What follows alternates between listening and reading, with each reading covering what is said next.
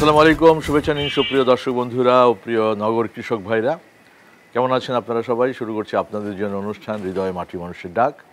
এই অনুষ্ঠানে আপনারা জানেন, আমরা শহরে, নগরে, বন্দরে বাড়- বাড়িঘরগুলোর ছাদগুলো খালি ফেলে না রেখে যারা ইতিমধ্যে বিভিন্ন ফল ফসলের চাষ করেছেন, বাগান করেছেন, তাদেরকে তুলে ধরি। এই পর্যায়ে আজকে আমি আপনাদেরকে নিয়ে আসছি খুলনা। খুলনা শহর শহর সংলগ্ন তুতপাড়া এলাকায়। এখানে শাহানা আক্তার তার এই বাড়ির ছাদে বছর তিন চারেক আগে বেশ কিছু গাছগাছালি লাগিয়েছেন, ফল, ফসল, নানান ধরনের। তার এই প্রতিবেদনটাই আমরা প্রচার করব আজকে, নিয়ে আসছি টুটপাড়াতে খুলনায়।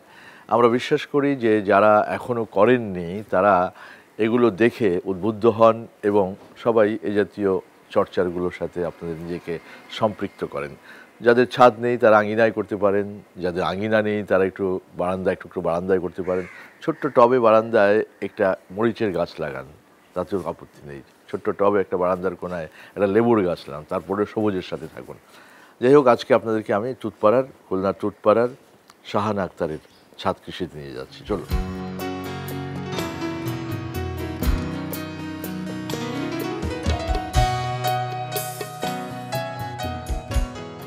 ও মাছও আছে? হ্যাঁ মাছ আছে কবুতর আছে। না চার পাঁচ হাজার বর্গফুটের ছাদ নয়। আয়তন মাত্র বারোশো বর্গফুট। কিন্তু ছাদটিতে পৌঁছে অবাক না হয়ে পারা যায় না গাছপালার ঘনত্ব আর বহুমুখী বৈচিত্র্যে। কি নেই এই এক টুকরো ছাদ কৃষিতে? গড়পড়তা বললে বলতে হবে ত্রিশ থেকে পঁয়ত্রিশ রকমের ফল আর সবজি।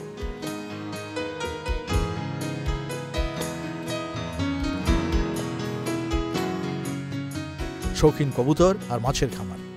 বহু উপর থেকে পাখির দৃষ্টিতে দেখলে এই ছাদটিকে মনে হবে ভবন আর রাস্তার মাঝে ছোট্ট এক টুকরো সবুজ।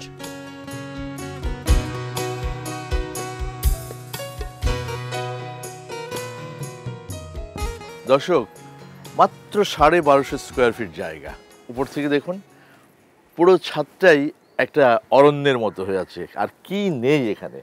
নানান ধরনের ফল ফুল, গাছের গাছের সংগ্রহ, এদিকটাতে ছোট্ট একটা বসবার জায়গা আছে। বসবার জায়গাটা এমনভাবে বানানো হয়েছে, তার সাইড দিয়ে আবার একটা হাউস করা হয়েছে, তার ভিতরে প্রচুর মাটি দেওয়া আছে। আমি এখানে পুঁইশাক থেকে শুরু করে নানান ধরনের ফসলের গাছ লক্ষ্য করছি। এই দিকটাতে আসুন, আমার হাতের ডান দিকটাতে। এখানে আবার পুরোটা নেটিং করা হয়েছে। নেটিং করে সেখানে কবুতরের একটা ব্যবস্থা। কবুতরের ঘর আছে এবং লক্ষ্য করুন, কি মজার দৃশ্য। কবুতরগুলো সকালে খাবার খাচ্ছে। ওই দিকটাতে দেখুন, কবুতরের ঘর ওই পাশটাতে, ওইখানে আবার লম্বা টানা হাউস। চারিদিক দিয়ে ওই ওইটার পুরোটা দিয়ে কলার গাছ লাগানো হয়েছে। ঠিক তার এই পাশটায় আসুন, একইভাবে বিশাল একটি হাউস এবং তার ভিতরে মাটি দিয়ে আমি এলাম যে আমড়া আছে, আম আছে। আমি যদি এই দিকটাতে চলে আসি, ডুমুর। লক্ষ্য করছি বিখ্যাত সেই ডুমুর, অর্থাৎ আমাদের মিশরের ডুমুর। এই গাছগুলো আজকাল অনেক জায়গায় দেখা যায়। এটা মজার বিষয়।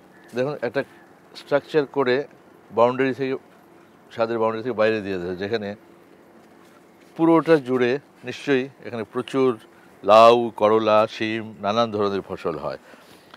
স্ট্রাকচারের পাশাপাশি প্লাস্টিক ড্রামে তিনি বেশ কিছু গাছ লাগিয়েছেন। ফাঁকা জায়গাগুলোতে প্লাস্টিক ড্রামের গাছ এবং এইটুক ছোট্ট জায়গাতে বোঝা ওটা খুব মুশকিল। আমি যদি আপনাদেরকে এই দিকটাতে নিয়ে আসি। এখানে একটা গ্রিন হাউস শেড করেছেন। তার সাথে তিনি কচু, নানান জাতের কচু, এদিকে সফেদা, পেয়ারা, পেঁপে, এদিকে আরও যাই। গাছ আর গাছ, এদিকে মালটা, কমলা ও মাই গড বারোশো স্কোয়ার ফিটে মানে পরিকল্পিতভাবে, এত সুন্দরভাবে তিনি পুরো কাজগুলো করেছেন যে চারিদিকে শুধু গাছ আর গাছ এবং নানান ধরনের ফলের গাছ। কচুর কচুর অবস্থা দেখেন, কেউ বলবে যে এই কচু, কচুর বাগান এটি মানে ছাদের উপরে মনে, মনেই হচ্ছে মাটিতে। শাহানা আক্তার এই ছাদ কৃষির মূল শিল্পী। তিনি ফল সবজি আর গাছগাছালির এই মিতালিতে অংশ নেন প্রতিদিন। আপনার এই বাগানটা কত বছর বয়স হবে হবে? দুই হাজার পনেরো সাল থেকে শুরু। তাহলে আঠেরোতে তিন বছর হলো। আমি তারপরে জানতে চাইব, আপনার এই বাগানটাতে কি নেই? কি নেই? আর কি? তরমুজ। তাহলে আছে আছে কি কি সেটা বলেন। আছে জাম জামরুল আম কলা। পিসফল তারপরে আলু বোখারা, তারপরে লক্ষণ ফল, তারপরে ইরানি লেবু, কমলা, পাঁচ ছয় রকমের আম আমরা কর্মচা, রেড লেডি পেঁপে পেয়ারা পেয়ারা আছে এই সব এইগুলো সবজির মধ্যে কি কি আছে সবজি ডাটা শাক এই যে এখানে সম্পূর্ণ সবজি এখানে পুরোটা হবে পালন শাক ওইদিকে সব মানে এই বেডের উপরে হ্যাঁ এই বেটের উপরে পালন শাক আমার ছবি আছে আচ্ছা। আর ওইখানে হবে হলো কলমি শাক আচ্ছা। আর ওইখানে দেওয়া আছে ডাটা শাক এখানে হবে ঢেঁড়স গাছ আর আচ্ছা। এখানে ধনে পাতা আমি যাব বহু সাত কৃষি দেখিয়েছি কিন্তু বারোশো স্কোয়ার ফিটের এত সুবিন্যস্ত এত গাছ গাছালি এবং আবার এখানে আপনি একটু বসার জায়গা হ্যাঁ বসার জায়গা। বারবিকিউ করা মেশিনও আছে ওই যে। আচ্ছা। রাত্রে আমরা এখানে পার্টি হয় সব বারবিকিউ করার মেহমান আসলে সব এখানে বসে বারবিকিউ শিক কাবাব তৈরি হয়। সব কিছু করা হয়। সত্যি বিস্ময়কর এই ছাদের মাছের খামার। পুরোপুরি একুয়াফনিক্স বলা যাবে না তবে মাছ চাষের জন্য নিয়মিত পানি পরিবর্তন আর অন্যান্য ব্যবস্থায় অল্প সময়ে কাঙ্ক্ষিত পরিমাণ মাছ উৎপাদন হয় এখানে। সব খাওয়ার মাছ। আচ্ছা। আমরা ওখান থেকে উঠাই টাটকা মাছ হলে আচ্ছা। হ্যাঁ মাছ উঠায় আমরা মাছ করছেন এখানে পাবদা চিতল রুই কাতল কই ট্যাংরা তারপরে অনেক রকম মাছ। এই দুই বছর এই পঁচিশ জাতের প্রায় মাছ আছে আমার আচ্ছা। এখানে। দুই বছর এক বছর পর পর পুরোটা ক্লিয়ার করে ফেলি ফেলে আবার দিই। এই মাছগুলোর বয়স এই দুই বছর। এটা আর কি এই কয়দিনের ভিতর আমরা শেষ করব করে আবার আর ওইখানে হয় আমার মাগুর মাছ। হ্যাঁ ওইখানে হ্যাঁ। হ্যাঁ তিরিশ কেজি মাগুর মাছ হয়েছিল ওইখানে। শেষ হয়ে গেছে উঠানো হয়ে গেছে শেষ আবার আমি যশোর থেকে মাছ নিয়ে আসি। আচ্ছা থেকে? হ্যাঁ যশোর হ্যাঁ চাষটার থেকে। হ্যাঁ যশোর। আমার বাপের বাড়ি ওখান থেকে নিয়ে আসে। আচ্ছা, আচ্ছা। মাছ টাছ সব ওখান থেকে নিয়ে আসে। শাহান আক্তারের কাছ থেকেই জানা গেল এই ছাদ কৃষির মধ্যে আছে মায়ের জন্যে সন্তানের এক অমূল্য উপহারের গল্প। চলুন শোনা যাক এই ছাদ কৃষি রচনার গল্পটি। আমি অসুস্থ হওয়া থেকে। আচ্ছা। মানে আমার হাজবেন্ড নাই উনি আচ্ছা। মারা যাওয়ার পরে আমি একটু মানসিকভাবে অসুস্থ হয়ে আচ্ছা। পড়ছিলাম তারপরে শারীরিকভাবে অসুস্থ হয়ে পড়লাম। মানে আমি প্রচুর সবজি খাই। আচ্ছা। মানে সবজি আমার মেন এই এই- এইটা। আচ্ছা। এখন ওই বাজার থেকে সবজি এনে খাওয়ার পরে আমার গ্যাস শুরু হয়ে গেল। মানে এত অসুস্থ হলাম দুই মাস আমি কিছু খেতে পারিনি। শুধু মাছের ঝোল আর ছোট মুরগির সবজি বাচ্চা খেয়ে তখন হ্যাঁ মানে- ডক্টর বলল যে এই সবজি আপনার সহ্য হবে না। তখন বড় ছেলের সাথে পরামর্শ করলাম যে আব্বু কি করা যায়? আমার তো এই সমস্যা আর কি করা যায়? তখন বলল যে আম্মু আমরা তাহলে ছাদে শুরু করি। আচ্ছা। তখন তখন প্রথমেই ফার্স্ট আমাদের ডাঁটা শাক সবুজ শাক কলমি শাক এইটা দিয়ে শুরু হয়েছিল তখন। সারা বছর আমার সবজি কেনা লাগে না। এই যে দুই তিন দিন আগে আমার এটা পরিষ্কার করা হয়েছে মানে পনেরো বিশ দিনের ভিতরে একদম সব ভরে যাবে একেবারে সবজি গ্রিন আবার ওইখানে ফুলকপি ওখানে সত্তর পিস ফুলকপি হয়েছিল নিচে? সেটের নিচেই আচ্ছা। এই যে ডাটা শাক উঠে গেলে ফুলকপি লাগাই দেবো। এই সাথে স্বপ্ন আর পরিকল্পনার সবকিছুই শাহান আক্তারের বড় ছেলে শেখ আসলাম হোসেনের। কিন্তু তিনি ক্যামেরা এড়িয়ে চলেন ছবি তুলতে আপত্তি তার। তাই ছেলের কথা আমরা শুনলাম মায়ের মুখে। এই যে ভেতরটাতে আপনি স্ট্রাকচারগুলো করেছেন হ্যাঁ পায়ে চলার পথ হাঁটার পথ রেখেছেন মানে অনেক কিছু এখানে একটু জায়গার ভেতরে। এই প্ল্যানিংটা কার? এই প্ল্যানটা আমার বড় ছেলের। আচ্ছা। আমার বড় ছেলের প্ল্যান কি করেন উনি? উনি একটা মাছ কোম্পানিতে আছে শিপিং কোম্পানিতে আছে আচ্ছা, তো এই আচ্ছা, জায়গায় আব্বু মারা যাওয়ার পর থেকে আর কি এই আট বছরের আব্বু মারা আচ্ছা গেছে। এটা তো আপনাদের নিজেদের বাড়ি হ্যাঁ, নিজেদের এখানে কত বছর যাবত বসতি আপনাদের? পঁয়তাল্লিশ তারও বেশি। তো আপনার বড় ছেলের সাথে একটু কথা বলা যাবে? হ্যাঁ বড় ছেলে কিন্তু ওর একটা সমস্যা কি, ক্যামেরা অফ যখন হবে তখন আপনার সঙ্গে কথা বলবে। ক্যামেরার সামনে ক্যামেরার সামনেও আসে না। আচ্ছা আমি জানতে চাচ্ছিলাম এই যে সাত কৃষি করতে গেলে কিছু তো পোকামাকড়ের আক্রমণ হয় হ্যাঁ। তারপর একটু বুঝে শুনে সেগুলো। আপনার এখানে আমি দেখছি সেক্স ফার্মেন্ট ট্র্যাপও আছে। আপনি কি কীটনাশক ব্যবহার একেবারেই করেন না? হ্যাঁ কীটনাশক ব্যবহার দেখাচ্ছে যে যেটা মানে স্প্রে করা হয় আমার পেয়ারাতে অনেক পোকা হয়েছে এবার পেয়ারা খেতেই পারিনি। আচ্ছা, সব পেয়ারা ঝরে গেছে প্রচুর পেয়ারা হয়েছে গাছে কিন্তু এবার কিন্তু কীটনাশক দেবো না বিধায় আর কি ওই ছোটোবেলায় প্যাকেট করে দিই। কিন্তু এবার আমি এত ব্যস্ত ছিলাম আচ্ছা। বাসায় বেশি থাকা হয়নি। ওই জন্য আর ওইটা প্যাকেট করা হয়নি। ব্যাগিং করা। হ্যাঁ ব্যাগিং করা হয়নি এটা। সবই জানেন তো দেখছি। হ্যাঁ ব্যাগিং করা। তো আপনার তো দেখে দেখে সব তারপর মাটি টাটি সব হ্যাঁ মাটি টাটি হ্যাঁ আচ্ছা. কোকোডাস দিয়ে গোবর দিয়ে আর কি এগুলো মিলায়ে। আচ্ছা। এর নিচে প্রথমে সাতটা নেট ফিনিশিং করে নিয়েছি। তারপরে চিপ ঢালাই দিয়েছি তারপরে টাইলস দিয়েছি। যাতে করে আপনার নিচে ড্যাম না হয়। নিচের ড্যাম না পড়ে। দিয়ে তারপরে এগুলো শাহানা আক্তার এই ছাদ কৃষির কাজে সহযোগিতা পান ছোট ছেলে শেখ আরমান হোসেনের কাছ থেকে। কি করো তুমি? আমি গ্র্যাজুয়েশন কমপ্লিট করলাম। আচ্ছা গুড বড় ভাইয়ের নাম কি? শেখ ইমরান হোসেন। ও আসে না সাথে? ও ক্যামেরা ছাদে আসে ক্যামেরা আসে?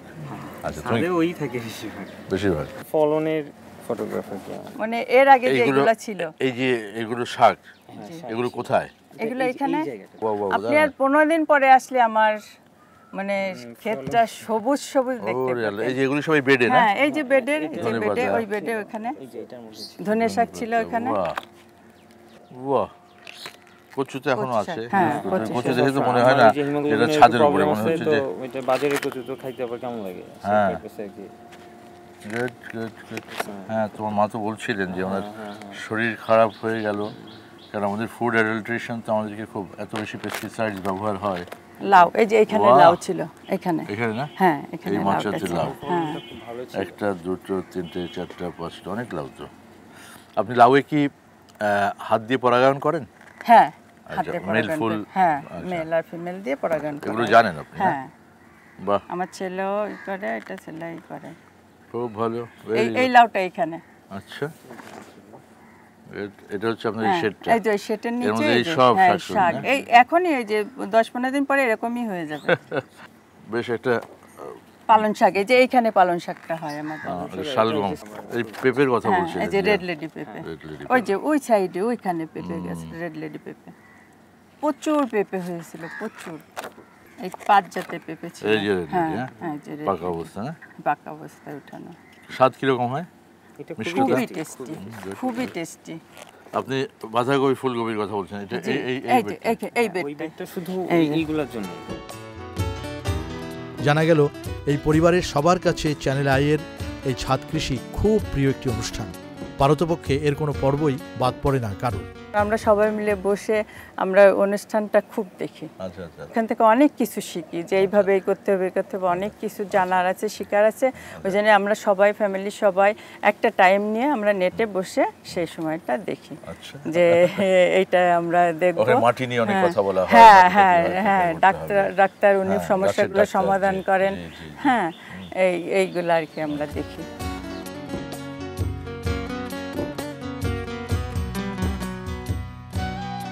কথায় কথায় ছাদ কৃষিতে এসে যুক্ত হলেন এই পরিবারের আরেক সদস্য বড় ছেলে শেখ আসলামের স্ত্রী সাহারা আসলাম। তিনিও এরই মধ্যে বুঝে গেছেন ছাদ কৃষির নানাবিধ উপকারিতা। কেমন আছেন আপনি? আচ্ছা আপনার স্বামী ক্যামেরার সামনে আসতে চায় না। আপনাকে পাঠিয়ে দিচ্ছে তুমি আপাতত দিকে প্রক্সি দাও। আচ্ছা আপনার বউ উনি কি কাজ করতে ছাদে বাগান করতে পছন্দ করে না ছাদের ফল ফসল খেতে পছন্দ করে? কোনটা? খেতে পছন্দ করে। খুব ভালো। আপনার আগ্রহ নাই বাগান করা না অবশ্যই আছে। আচ্ছা গুড গুড খুব ভালো। কোন কোন গাছ লাগিয়েছেন এখানে আপনি? আমি সঙ্গে থাকা হয় আমার। তো মায়ের সঙ্গে থাকা হয় পানি দেওয়া হয় খুব ভালো। আপনি একজন সঙ্গী পেয়েছেন তাহলে। খুব ভালো আমি খুব ভালো লাগল বলব যে ছোট্ট একটু জায়গার ভিতরে মাত্র বারোশো স্কোয়ার ফিট চার বারোশো। এর ভেতরে এত মানে প্ল্যানিং করে এত ধরনের গাছ গাছের এবং পরিবারের একেবারে নিজস্ব ফল সবজি সব কিছুর চাহিদা বোধহয় এখান থেকে মিটছে আপনার। সবকিছু চাহিদা এখান থেকে পুষ্টি। মানে আমাদের এমনও হয় অনেক সময় যে টোটালি বাজারে যাওয়া দরকার হচ্ছে না মানে সবজির জন্য। আচ্ছা। ছাদটা যদি একদম ফাঁকা থাকতো তাহলে তোমরা নিচে কতটা কমফোর্ট বা ডিসকমফোর্ট ফিল করতে? আর এখন এই গাছ গাছগাছালি থাকাতে কতটা আরামে আছো? হ্যাঁ গরমের সময় তো এটা অনেক একটা সুবিধা কারণ অনেকটাই অনেক ঠান্ডা লাগে না? অনেক হ্যাঁ অনেকটাই অনেক- গরম কম লাগে। আচ্ছা তারপর আমাদের শহরগুলোর যে এখন অবস্থা মানে কি বলে যে সিটি ওয়ার্মিং আমাদের জলবায়ু পরিবর্তন সব কিছু মিলিয়ে অক্সিজেন এটারও তো একটা দিক আছে। হ্যাঁ, অবশ্যই। তো সেটাকে কি তোমরা মনে করো কখনো? হ্যাঁ এটা ফিল করি এবং মনে করি আমরা। এটা এটা দরকার প্রতিটা সাথেই আর কি এরকম করা উচিত। আচ্ছা তোমাদের এই ছাদটা দেখে আশপাশের কেউ কি একটু মোটিভেট হয়েছে যে আমি বারান্দায় হ্যাঁ, একটা গাছ লাগাই হ্যাঁ, হ্যাঁ। বা টবে একটা এবং পার্সোনালি আমার যে ফ্রেন্ড সার্কেলগুলো ক্লোজ ফ্রেন্ড যারা তারাও অলরেডি টুকটাক শুরু করছে আচ্ছা হ্যাঁ, তোমাদেরটা দেখে। হ্যাঁ, হ্যাঁ। ভালো লাগল শাশুড়ি শাহানা আক্তার আর পুত্রবধূ সাহারা খাতুনের মিল দেখে। বিশেষ করে দুজনের একই রঙের একই রকম পোশাক জানান দিচ্ছে অনেক কিছু। এভাবেই চলাফেরা হ্যাঁ এইভাবে চলাফেরা নাকি আজকের জন্য না না না মানে শুরুর থেকেই। কীরকম? মানে ছেলে যখন বিয়ে হয়েছে সেই শুরুর থেকেই। হ্যাঁ। এই ছেলে এই দুই বছর আড়াই বছর বিয়ে হয়েছে হ্যাঁ। সেই শুরুর থেকেই আমরা এই প্রথম দিন থেকেই এইভাবে একই চলি। পোশাক? একই পোশাক। সবসময় সব জায়গায়? সব সময়। সব আচ্ছা। কিছুই একই। আচ্ছা আচ্ছা খুব ভালো। তো আপনার আপনার নাম তো শাহানা আক্তার জি। ওনার নাম কি? সাহারা। সাহারা সাহারা ভাগ্যিস একটু পরিবর্তন ছিল। নাহলে তো আর বিপদ হয়ে যেত। ভেরি ইন্টারেস্টিং ফ্যামিলি তো। আরেকটা মজার ব্যাপার বাইরে বের হইলে মানে কেউ বিলিভ করতে চায় না বউ। সবাই মেয়ে হবে। মানে চেহারাতে বুঝে হ্যাঁ, খুব ভালো খুব ভালো। ও আপনাদের তো জুতো একরকম দেখি হ্যাঁ সবই একরকম। মানে একটু সমস্যায় পড়তে হয় সব একই পাওয়া যায় না। কালেকশন করতে অনেক সমস্যা। ছেলের চাহিদা এটাই হবে। মানে ও আমারে খুবই ভালোবাসে মানে অসম্ভব রকমের ভালোবাসা। শাহানা আক্তারের অনুরোধ উপেক্ষা করা গেল না। ছাদ কৃষির সব উপকরণ থেকে তৈরি সকালের নাস্তার আমন্ত্রণ জানালেন তিনি।